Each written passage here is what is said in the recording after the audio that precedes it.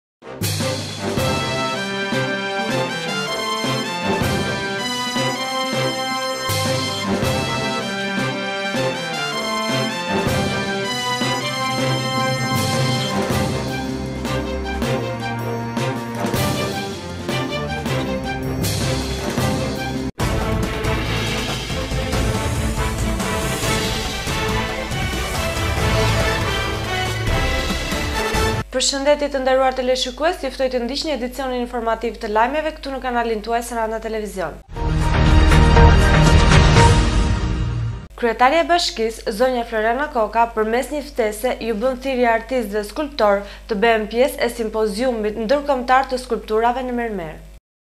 Kryetarja e Bashkisë së Sarandës, zonja Floriana Koka nëpërmjet një ftese iu bën thirrje artistëve skulptorë të bëhen pjesë e Simpoziumit Ndërkombëtar të Skulpturave në Mermer, organizuar nga Bashkia në qytetin e Sarandës. Një organizim që thirret për herë të parë në qytetin tonë. Kryetarja Koka nënvizon faktin se ky qytet ka frymëzuar në vite dhjetëra artistë me bukuritë e peizazhit jonian me vlera dhe trashëgimi kulturore dhe më të veçantat në elementin e dritës, diellit, magjinë e detit dhe tjera. Thirrja për herë të parë e simpoziumit të skulpturës në mermer do të dëshiroja shprehet ajo në ftesën drejtuar artistëve, të merrej si ftesë mikpritëse nga ana ime dhe si sipërmarrje artistike nga mjeshtrat e daltës së skulpturës nga vendi, rajoni dhe më gjerë për të realizuar punë të frymëzuara nga ajo çfarë Saranda ofron. Simpoziumi do të shërbejë edhe si një mundësi për të ndarë me artistët miq dashurinë që çdo banor ka për Sarandën e njohur si Qyteti i dyzet shenjtorëve dhe si destinacion i kërkuar turistik. Në lidhje me këtë iniciativë dhe thirrje të kryetares së bashkisë për organizimin e Simpoziumit të Skulpturës në Mermer drejtuar artistëve skulptorë, si dhe projektet që Galeria Art Saranda do të realizojë gjatë sezonit veror dy mijë e gjashtëmbëdhjetë, përgjegjësi i kësaj galerie, zoti Lefter Çeko për ekranin tonë është shprehur. Mirë se erdhët në galerinë tonë,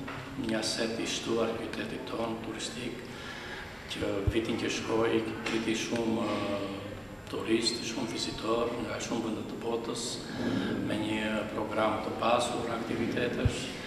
Dhe sivjet po kështu do vazhdojë me program më të cilësor dhe me veprimtari dinjitoze me vepra arti që do të krijohen dhe do ekspozohen dhe konkretisht me koloninë e piktorëve që do të kemi në muajin prill maj në qytetin tonë me një ekspozitë tjetër që do të jetë për gjithë sezonin turistik me Koleksionin nga veprat më të mira të Galerisë së Arteve Kombëtare në Tiranë, të përzgjedhura të krijuesve me emër të viteve nëntëdhjetë, të cilët kanë studiuar në akademi të ndryshme të botës, pra do të kemi vepra dinjitoze të artistëve shqiptarë që kanë studiuar në akademitë e Moskës, Çeki, në, Itali, Francë, Greqi dhe ato do të jenë një Vlerë, një informacion për zhvillimin e artit tonë në vitet para nëntëdhjetës.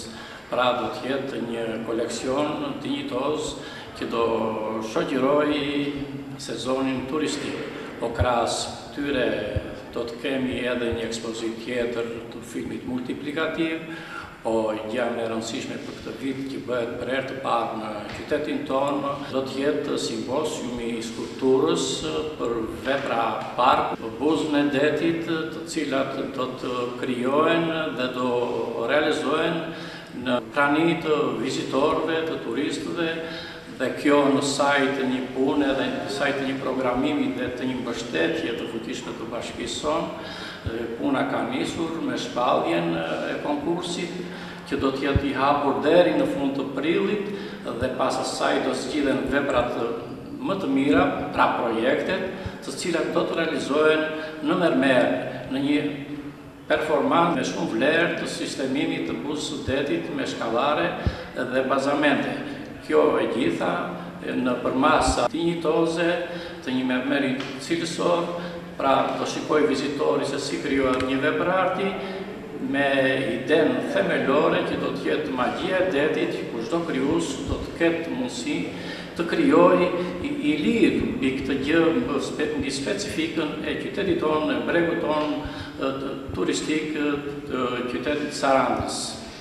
Pra, e gjithë veprimtaria e galerisë për këtë vit është e programuar në atë mënyrë që do të ketë vepra dinjitoze nga autorë të vendit dhe të huaj. Gjatë sezonit turistik do të kemi dhe ekspozita të tjera që do të hapen jashtë galerisë. Këto do jenë me vepra të autorëve, domethënë vendas e të huaj.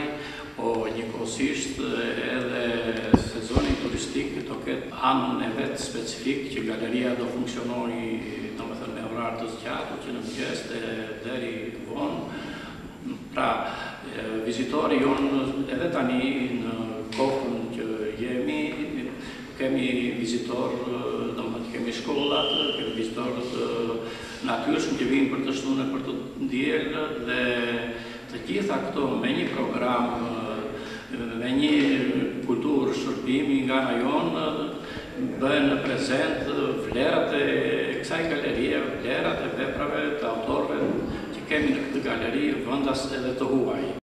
Me realizimin e këtij simpoziumi si dhe ekspozitat me krijuesit vendas e të ftuar, që do të ekspozohen gjatë sezonit në Galerinë Art Saranda, Saranda Turistike këtë verë do të bëhet më atraktive, duke patur si aset të shtuar në buzëdet krijimet e skulptorëve në mermer.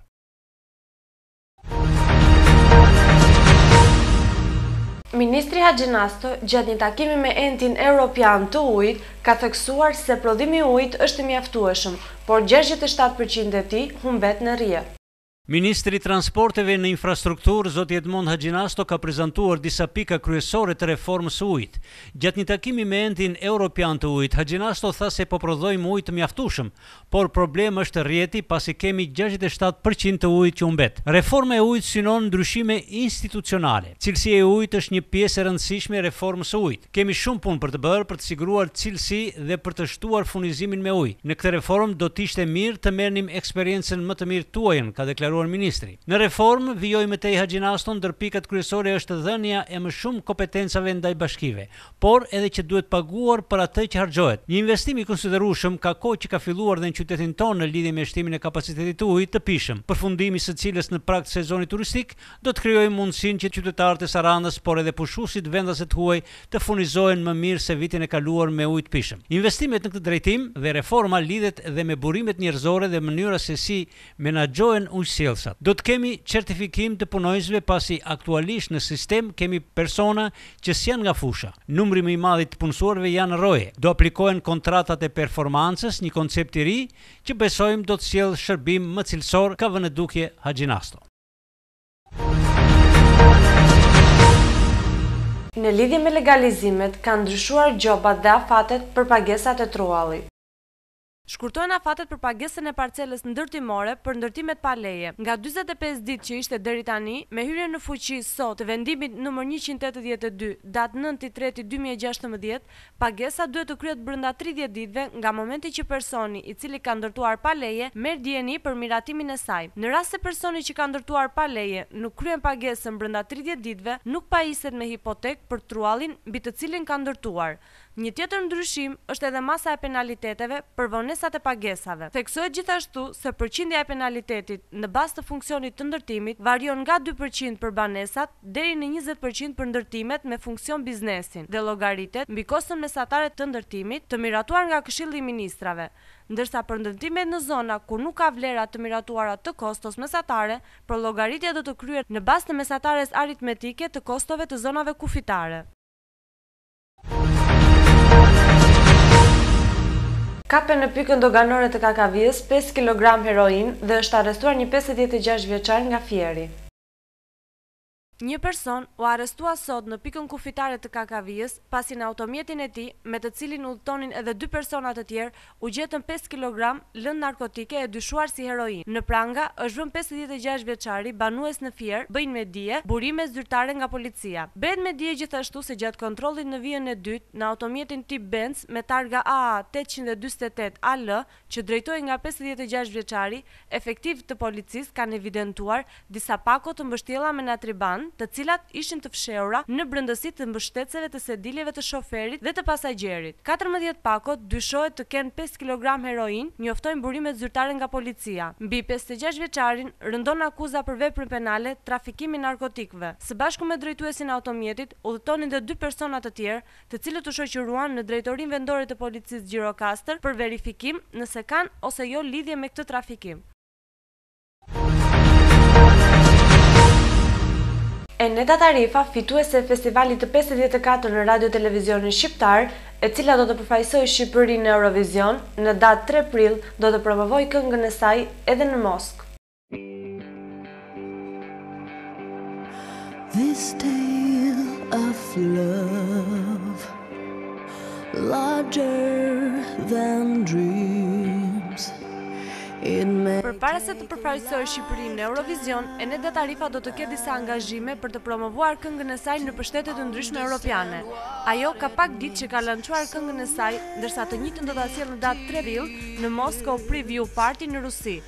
në një koncert që i paraprin Festival Europian të Këngës, ku ajo do të këndojë krahas disa këngëve të tjera.